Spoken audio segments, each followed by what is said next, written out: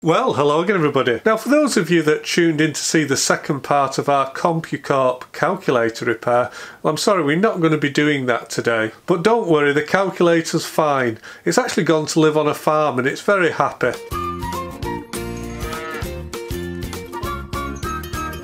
But I'm sure we'll see it at some point in the future, or possibly not. So instead we're going to be doing an unboxing video. Now the main reason we're going to be doing an unboxing video is not because I'm particularly interested in the contents of this box, as probably you won't be either. But unfortunately my wife has been tripping over this box now for the last several months and uh, she's basically said that um, if I don't remove the box she'll remove my conjugals. Head shears offer a two-handle design and long blades that cut all the way to the tip. Perfect for sculpting hedges or ornamental bushes.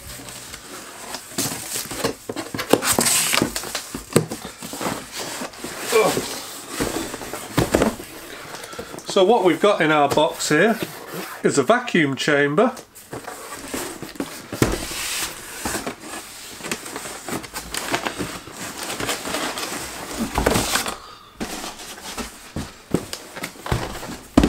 And a vacuum pump. Well, I'm sure that some of you are wondering why I went ahead and I bought this vacuum chamber and this vacuum pump. Well, you're actually quite right to be wondering as well because it has been several months since I actually purchased this and uh, the reason that I actually bought it now escapes me but um, yeah, sale of East such as a lot of my drunken late night eBay purchases. But if I do try and cast my brain back to medieval times, I think it was actually something to do with the want or the need to try to encapsulate some transformers. I think what it was, I'd been watching one of the Shango videos where he'd taken a line output transformer and uh, he'd put it in a vacuum chamber to actually re-impregnate it with wax.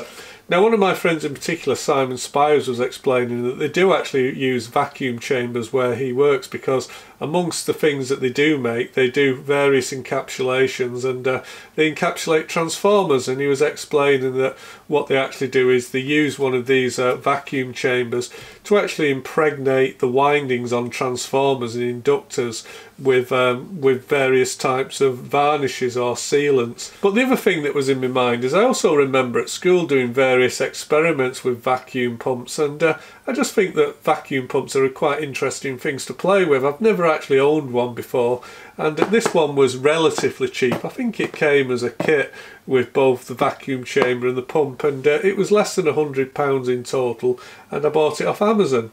So I just thought it might be quite interesting to uh, see what comes in this kit and uh, well just see how it works.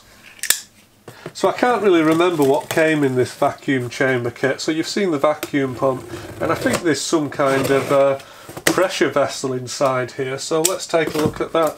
Can you actually still call it a pressure vessel when it's got a vacuum in it? I'm guessing you can, it just means the pressure is on the uh, outside rather than the inside. Okay, so what have we got here?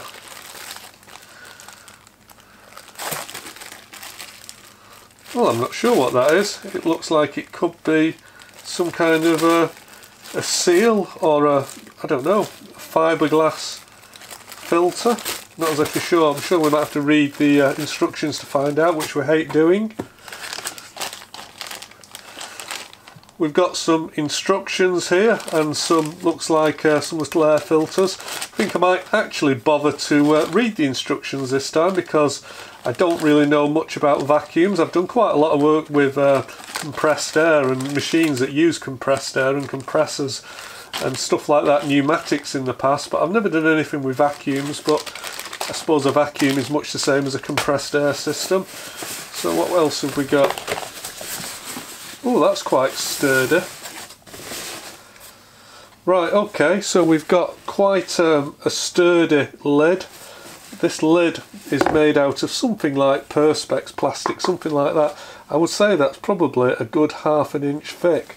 So that's quite substantial. It's got the manufacturer's name on it, which looks like it's, it's that BAC and that's actually etched in or milled into the plastic. I wonder how thick that is. It, it's, it's very heavy, it's very substantial. Okay, that's about 0.5 of an inch or 14 millimeters thick. So yeah, really quite substantial. And on top of the lid, I can also see that we've got this uh, pressure gauge, which of course is a, a vacuum pressure gauge. And uh, interestingly enough, it works backwards. And uh, looking at it, it looks as though it's uh, it looks as it's in bar. So it, the actual needle here, it's actually sat on the uh, on the right hand side. So of course most meter needles sit on the left, and then when you actually blow something up or whatever, it goes round in a clockwise direction. Where this actually starts at zero, which I'm guessing is zero is would that be like one atmosphere and then it goes all the way to minus 30 or minus 1. So to me I think this black scale here which is INHG that actually stands for inches of mercury and I actually think that's quite a strange calibration because uh, I'm used to working in bar or something like pounds per square inch but for vacuum systems and in fact vacuum gauges this inches of mercury is, uh, is quite a common measurement system. It does say inches there IN and the HG is I think the elementary symbol for mercury, so that's why we get INHG. Well, back in the 1600s, the Italian philosopher and mathematician Torricelli invented what they call the Torricellian barometer, and I'm sure some of you will have actually seen these in laboratories or maybe at museums and stuff like that. Well, what he actually discovered was that a column of mercury could be supported by the atmosphere. So this is at sea level, so if you take a, a tube of mercury which is sealed at one end and actually upturn it in a bath of mercury, what you'll find is the atmospheric pressure pushing down will support around 30 inches of mercury. Well, it's probably uh, just under 30, it's around 29.7 or something in that figure.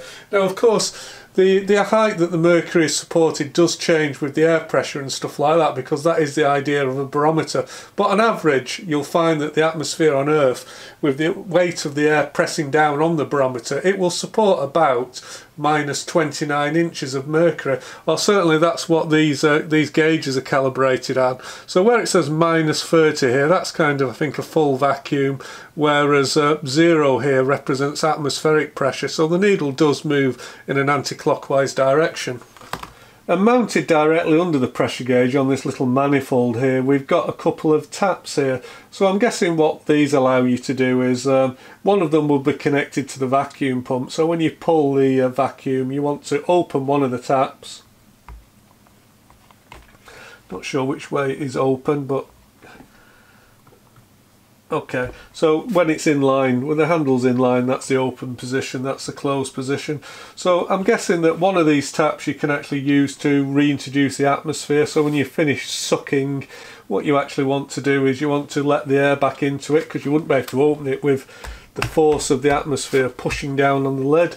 So that's what that's going to be for. So one of them will connect to the vacuum pump and uh, I'm guessing the other one will reintroduce atmosphere back into our vacuum chamber does feel a little bit loose at the moment, this vacuum gauge where it connects through the perspex, so I don't know if we'll need to tighten that up, or if maybe when we start to pull a vacuum on it, maybe it will actually uh, seal itself. I'm not actually sure. As I say, I've never really worked with vacuums before, so I am by no means sure. It feels like there's a rather substantial O-ring fixed to the bottom of here. Yeah, I can feel it. It's quite a deep piece of silicon rubber. So that is going to form a seal with the top of our uh, vacuum chamber. Oh, that's a thought. Anyway, let's get the vacuum chamber out and take a look. So here's our vacuum chamber for the feel of it. I think this is made from uh, stainless steel. Yeah, it's uh, it feels too cold to the touch for aluminium, so it's not aluminium. I think it's made from, pretty sure it's stainless. So we've got a warning here. It says warning, close the vacuum chamber exhaust valve before closing the vacuum pump to cut off the air circuit.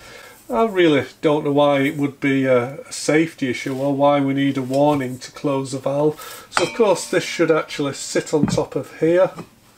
Now, of course, this might remind you of a, pressure cooker. I can remember my gran used to have a pressure cooker, which was it was a lot like this construction, but it had a heavy aluminium lid on it. But of course, with a pressure cooker, you have to have like latches. You have to have uh, like a, a, bayonet fixing, would you call it, around the top of the pressure cooker lid, so that you actually have to stop the lid from being blown off. But actually, the lid on this, when we suck the air out of here, it's going to be pushed down by the atmosphere across this, uh, well, the whole surface. It's going to have the whole atmospheric weight pushing down on it.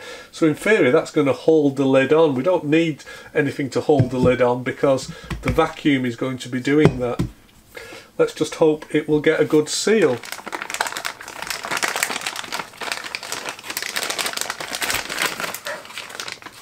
So of course we do actually need to connect this to the vacuum pump and it comes with a comes with a hose, charging hose. This is 2500 psi and uh, I think that's the burst pressure and it's got a normal rating of 500 psi. Now just reading the instructions for our gauge it says that we've got this little stopper on top of it and uh, what it's telling us to do is remove this stopper for 15 minutes with, whilst keeping the gauge in an upright position because I think this is to let air back into it. It's an oil filled gauge. Now these gauges are actually oil filled for a reason in that they're oil filled to actually damp to help stop the uh, to stop the needle here from vibrating because I think if you have things like vacuum pumps and compressors then what they, what they will do is they will vibrate, the needle will vibrate in sympathy with the uh, displacement of the compressor cylinders as they go up and down. It will make the needle vibrate backwards and forwards, which makes it hard to read, but I think it actually is quite hard on the meter movement. So what the oil does, I believe, is uh, it actually it's a damper. It's provided to damp everything down. So according to the instructions, you've actually got to let the the pressure equalise on the inside and the outside, and maybe you can get bubbles dissolved into the oil.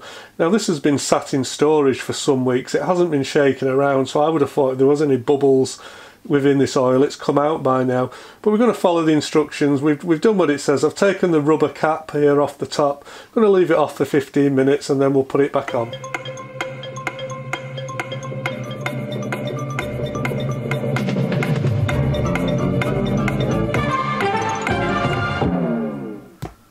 There we go, 15 minutes has elapsed, put the lid back on. So our vacuum chamber setup does come with this instruction book, but it really only consists of, uh, well, a couple of pages of uh, English and nothing in there is uh, is really particularly useful. Um, there's nothing that you could couldn't work out for yourself. So the instructions don't appear to mention at all the fact that we've got these two little air filters. And I'm guessing that one of the air filters probably goes on top of the vacuum chamber so that when you release the vacuum it doesn't pull dirty air into it. But um, yeah, I'm not really sure that would be a massive consideration really. And uh, it comes with a few washers as well, which also doesn't mention. It comes with some big washers and uh, some smaller ones. So I'm guessing that maybe these bigger washers maybe go at the bottom of the manifold. These are maybe the seals which uh, hold this pressure gauge manifold onto the lid of our vacuum chamber. It doesn't describe them and there's a, well, a couple couple of smaller washers which I was going to say do they go into the end of the uh, the vacuum hose? Mm, not sure. Maybe they're the seals for these uh, air filters. Again I don't know. It leaves that up to my imagination which I have to admit is really quite vivid so I'm not sure.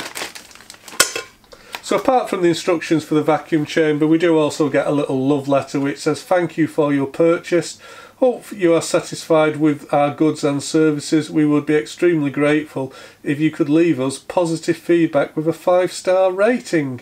Um, and it's also got their web address on it, which looks like it's bacoeng.com. Uh, for OEM and customer needs. So you can contact them if there's a problem. I think this company did actually get pretty good feedback when I looked at them online. So uh, I'm not anticipating any problems with our vacuum chamber, but we will see. And I've just noticed another letter. Dear Sir or Madam, if you are seeing this letter, it's because our product has travelled thousands of miles crossing mountains and plains to get to you. That sounds quite romantic, doesn't it?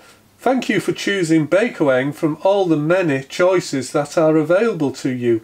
We take this opportunity to offer our products and services to meet all your requirements. Okay, well, I don't mind that. It's a nice little letter let's hope this thing performs well. I still have got no idea what this is. I think maybe it's a heat proof mat or something like that. It really doesn't tell us. So here's the vacuum pump itself and this is a piece of equipment I've got to admit I've got most interest in so let's get the box open and see what's in here. Alright, okay, well that's one thing that's good. This does actually come with uh, a much more complete manual for the pump.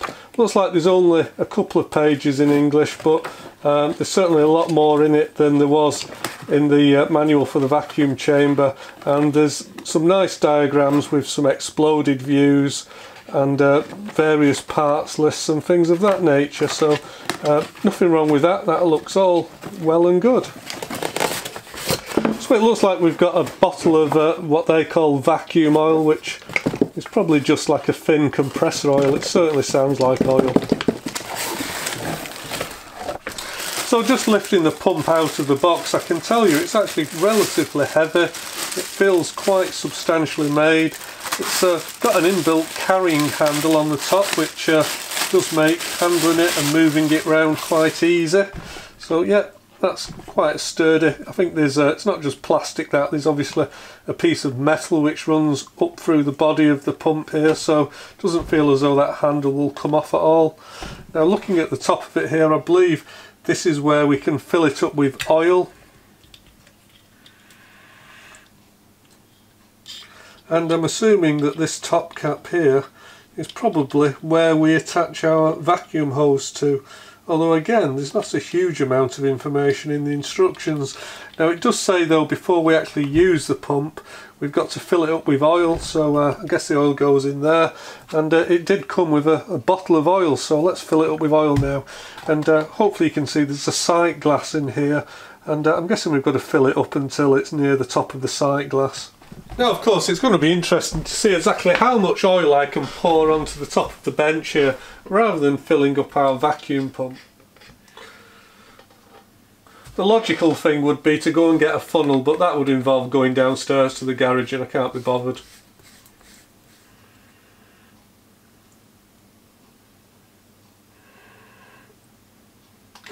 Well, it looks as though they've given us about enough oil to fill this pump to about three quarters full. I guess that's quite good really because if they gave us more oil than that, of course the temptation would be to overfill it. So maybe by giving us just the right amount, that's actually a clever thing to do. And let's screw the cap back on. So on the side of the pump here there is a maker's plate but I think it's actually just glued on so no doubt that will fall off very shortly so we better look what it says now before it does that. So the model of the pump is a BA-1. It says that the free air displacement is 3 CFM. Now I think 3 CFM will stand for 3 cubic feet per minute probably something like that. The ultimate vacuum is 0.8 PA which I think is pascals. The voltage is 220 to 240 volts at 50 hertz, so that should suit us here. The power is one quarter horsepower. I mean, amazing really, who bothers to give motors in horsepower anymore?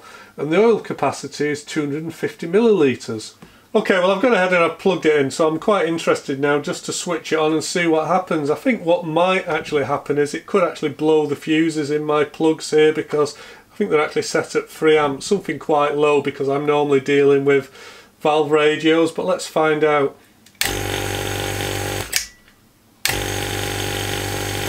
Okay, well the uh, the fuses didn't blow. Shall we actually see how much current it's using?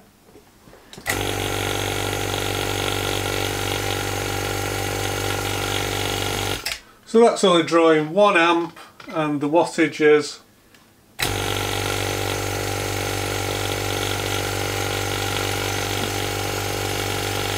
144 watts. Well I'm afraid I've still got absolutely no idea what to do with these air filters so I'm just going to assume that we do indeed want to uh, screw it into there because nothing seems to really tell me what I need to do with them. So let's go ahead and take the, uh, the hose from our vacuum chamber. I'm going to screw this onto the top of the uh, pump and let these two enjoy some sexy time together. So I think that valve is now, that one would be open, we want it closed, so we want to open that valve and we need to try to line up that seal with the top of the pot, which I think I have done. let's switch on the pump. Okay, and I can see that very rapidly it does actually pull down a vacuum.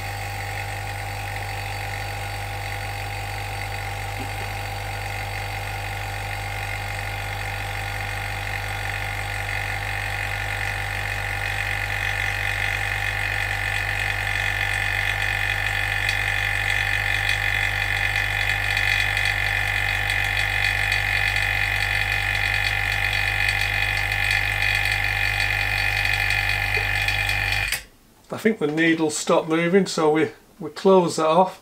And in theory that is well that's going to be very powerfully fixed onto there. So I can't pull that off. And amazingly even though everything's only been screwed fairly loosely I can't actually hear any anything hissing. I can't, I can't actually hear any air leaks. So in fact just to prove that let's just uh, release this hose from the compressor or the vacuum pump sorry. And uh, well let's leave it for 10 minutes and see how long it maintains vacuum well it's about 15 minutes later and actually our vacuum gauge it hasn't moved at all. It's maintained a perfect vacuum so it does look like the gauge the manifold and the seal around the top of the pot. That seems to be working perfectly actually much better than I was expecting. So what I'm going to do is I'm just going to leave it a little while and see if uh, see how long it takes for the air to leak back into it It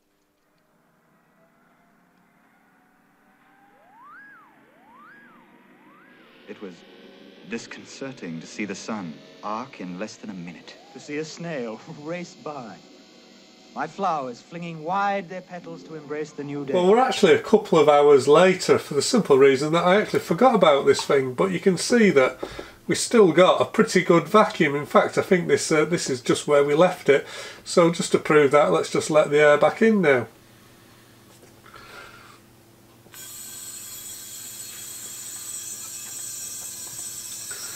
Just wondering at what point I can pull the lid off it. So I'm pulling on the lid now.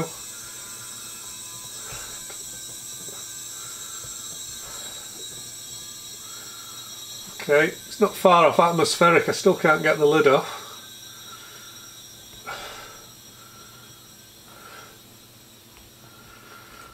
So there's obviously absolutely no way, oh, there we go. So actually I couldn't pull the lid off that until we were pretty much back to atmosphere.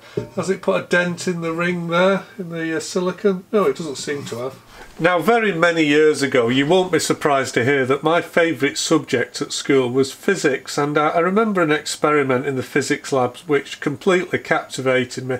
And what they had was a huge glass, uh, what would you call it, a bell jar or something like that, a big glass jar, and into that glass jar they put um, a bell, an electric bell, and then they sucked the air out of this uh, glass jar, and the bell went silent. Well, I'd actually quite like to see if we could recreate that test. Well, unfortunately, I don't have a, an electric bell to use. All I've got is this uh, this old, cheap and nasty Superdrug radio. So what I've done is I've actually gone ahead and I've set my signal generator to 90 megahertz, and we've got this tuned into the FM band. So if I just turn the sound up, hopefully you can hear that, and you can still hear it if I put it into our vacuum chamber. Now, what I plan to do is I'm going to put it into our vacuum chamber. I'm going to suck all the air out. It'll be interesting to see if uh, if the radio goes silent. Now the reason it will go silent is because the way that we can hear sound of course is it's sound waves and sound wave travels by the gas molecules banging into each other. So if we suck all the air out from around this radio there will be no gas molecules to transfer the sound energy from the speakers to our ears. So in theory it should go pretty silent although of course we'll also get some sound being transmitted through the body of the radio and maybe just through contact into the body of the vessel so we still may hear it or I'm not even sure if we'll actually pull enough vacuum to remove enough air to hear it go silent. Now the other thing that might be interesting to see is will pulling a vacuum affect this LCD? I think it might do but uh, yeah these are the things that we do in the name of science so let's give it a go. Here's our radio, turn that up fairly loud.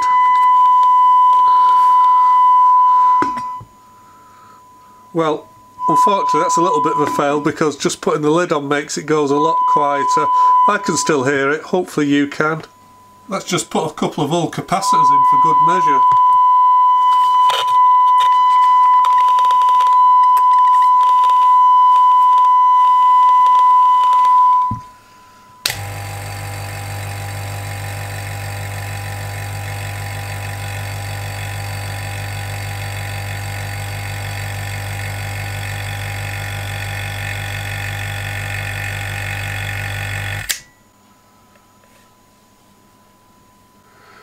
Okay, our capacitors do still seem intact.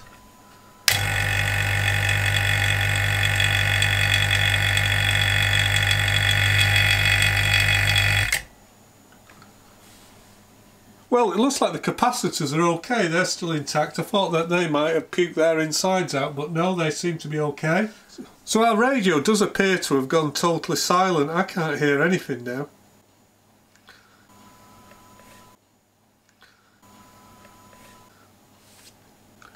Let's reintroduce some air and see if the sound comes back.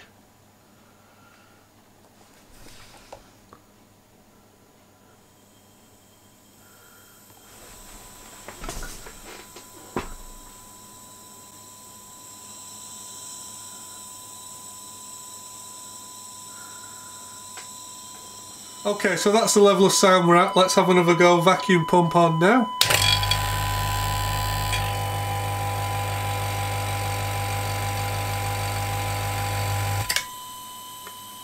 Still hear it there.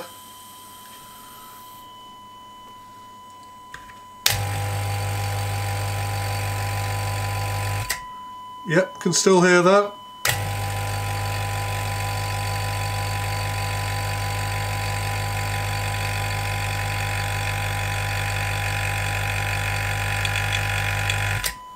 That still sounds quite loud to me.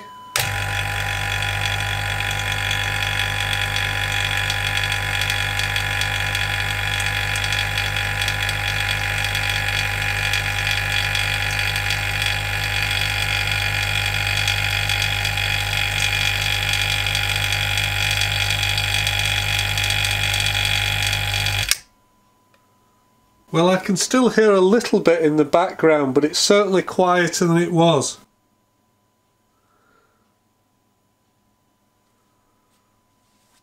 Let's release the vacuum.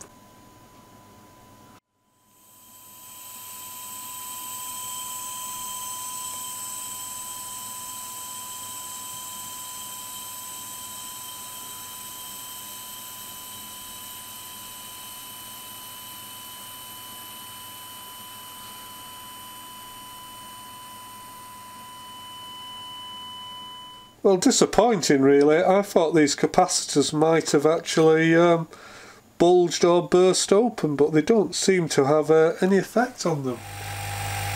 Now I do have some memory, probably more than 20 years ago at work. I remember that we did use a vacuum pump on a machine that I was building at the time. And uh, that vacuum pump was a different design to this one, totally different pump mechanism. And from memory that vacuum pump was actually really noisy. It sounded like a Dalek wanking in a biscuit tin. But this pump's actually really quiet and of course hopefully you've got no problem hearing me above the noise of this vacuum pump. In a, in a workshop this really wouldn't be too distracting. It does have a little bit of vibration to it, but it's nothing excessive.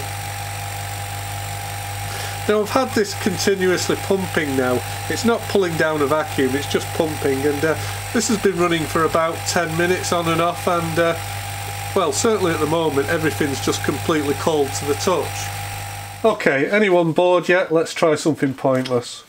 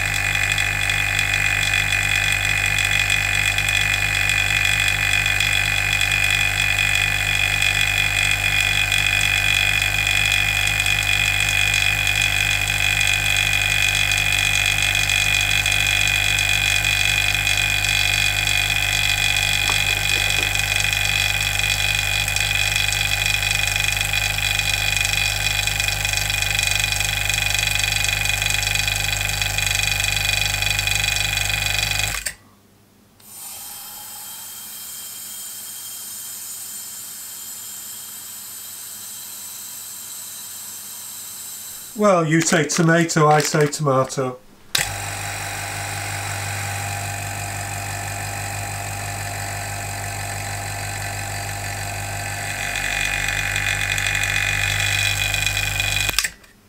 Well, that was extremely disappointing, wasn't it? Tell you what, let's try leaving it in there for half an hour and uh, then letting the pressure back in. Maybe it will uh, crush. Who can tell? Easy wizzy, let's get busy. Well, I'm afraid to say it just feels like an ordinary tomato. Surely that should have exploded. Now one of the uses for a vacuum pump like this is for degassing fluids and uh, if you're wondering what you might want to degas I'm sure some of you have seen some of those resin paperweights where you have like a, a lump of plastic and it's got some novelty gift, a spider or a flower or I don't know some dead insect embedded inside it. Well, if you're anything like me, you've looked at those ornaments and you've been amazed that they don't actually have air bubbles trapped inside them. And the reason that they don't have air bubbles trapped inside them is because they take the resin and they do some what they call degassing.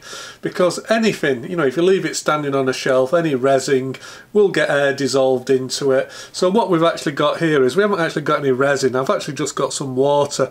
And if it's looking a little bit funky, that's because I've just put, on, put a little bit of washing up liquid in it because I'm hoping that this will give us quite a vivid demonstration of this is just plain water and we're going to start to draw a vacuum on it.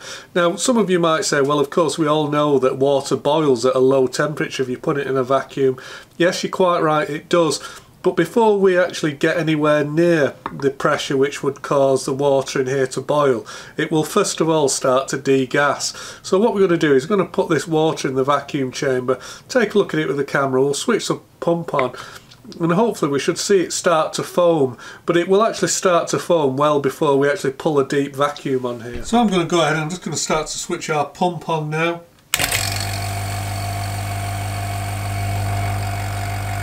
Okay, you can see a little bit of foam has actually appeared on the top of the water. So looking at the uh, pressure gauge, it looks as though we're about I think that's about 15 inches of mercury. So I think that's something, we're at the altitude now of something akin to maybe the, uh, the height of Mount Everest, something like that.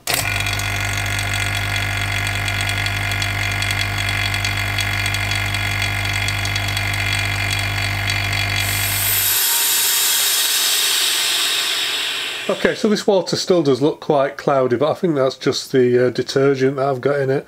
But I can see a couple of bubbles, but I think they were just from when I disturbed it when I got it out of its container. So yeah, it does seem to be uh, relatively effective at degassing stuff, but um, I don't know, somehow I expected more. I'm just going to try the same experiment with something thicker, so we're going to use some bubble bath, because that's probably got more the uh, consistency of resin, and I'm trying to slosh it around a bit, maybe try to get some uh, bubbles into there.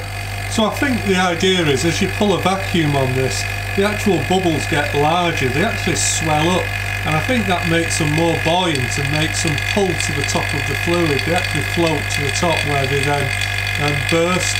So I think that's the mechanism by how the actual degassing is achieved. It actually enlarges the bubbles at first, which just makes them float to the top. Okay, so we're pulling a vacuum there. Let's leave it at that for a little while. Well I can see we've still got a fair amount of bubbles floating on the top of our bubble bath mixture. Let's see if they disappear when we release the vacuum.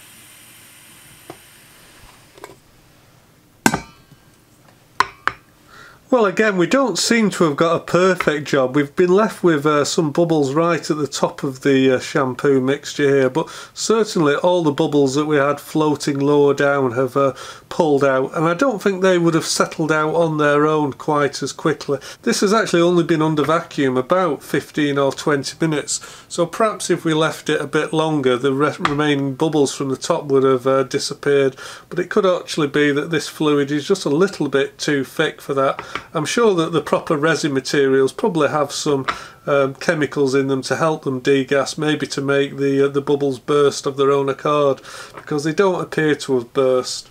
Well, I think for the final part of today's tomfoolery, I've actually gone ahead and I've put a glass of uh, fairly hot water. It's 48 degrees at the moment, looking at the thermometer that's in there. And we're going to pull a vacuum, and what we should see is this water is actually going to boil at a much lower temperature. Well, certainly that's the plan. So we're about the height of Mount Everest now. We've just gone over that.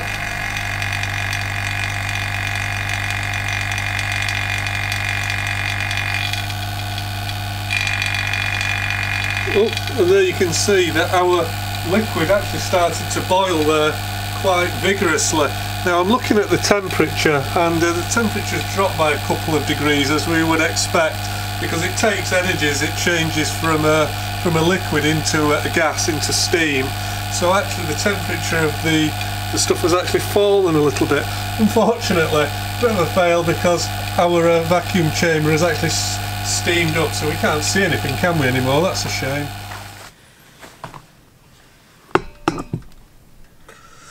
okay I've given that a bit of a, a wipe let's have another go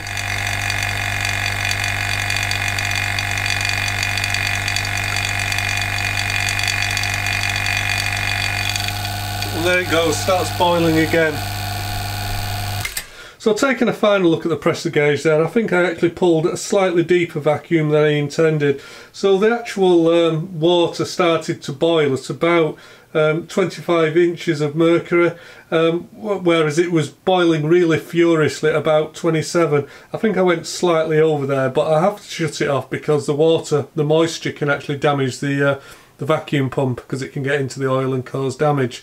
So I'm afraid that's all we can actually do, but I think uh, it does demonstrate the principle, doesn't it, that water will boil at a lower temperature if you reduce the pressure. So uh, yeah, it takes me back to my physics experiments in school, which is uh, always good fun.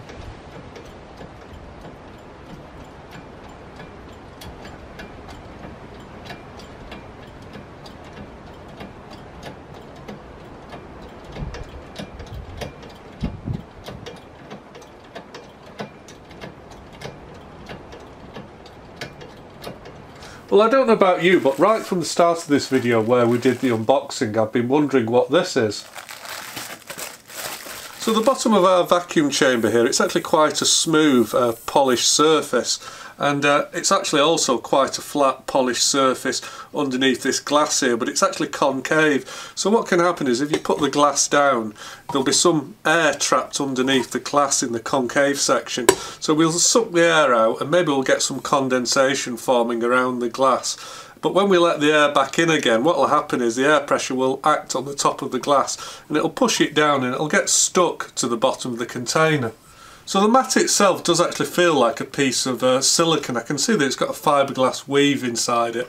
But I actually held this up to my mouth earlier and you can actually blow through it. So although it feels like kind of silicon rubber, it's obviously got lots of pinholes in it. So we'll just put this in here. When we put our glass in now, and we pull a vacuum on it, all the air will get sucked out in just the same way. But this time what will happen is when we reintroduce the air, because this mat has got perforations in, in all round it and under it, that the air will go back into the mat and it will creep back under the glass and it'll stop it getting stuck to the bottom of the vacuum chamber. So that's what the purpose of this mat is for. Vegetable rights and peace.